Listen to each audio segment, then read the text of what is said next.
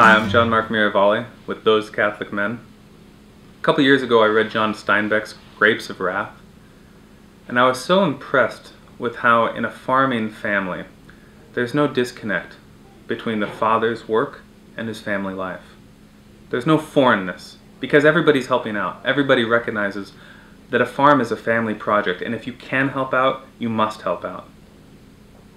And now I feel like we've lost that maybe with urbanization and the specialization of our different trades.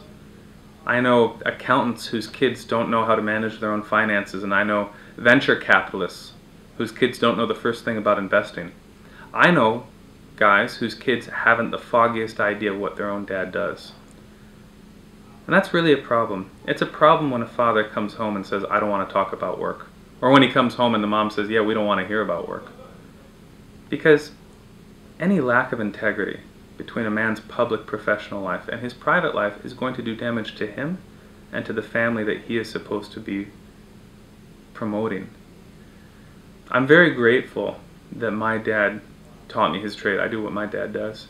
And even if my kids don't do what I do, I want them at least to have whatever I can give them as tools at their disposal. My kids want to help me.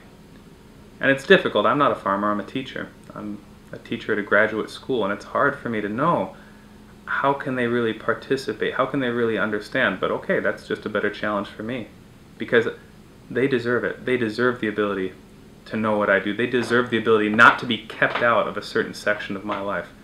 They deserve the ability to benefit from what I've learned doing what I do. most beautiful thing I ever learned about a father passing on the tools of his trade was an ancient Christian commentator talking about what did St. Joseph have to give our Lord. He didn't give him his nature. He got that from Mary and the Eternal Father.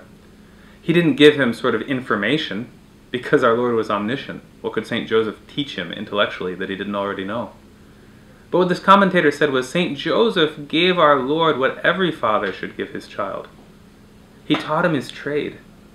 He taught him how to work with wood and nails. And wood and nails is what Jesus used to save the world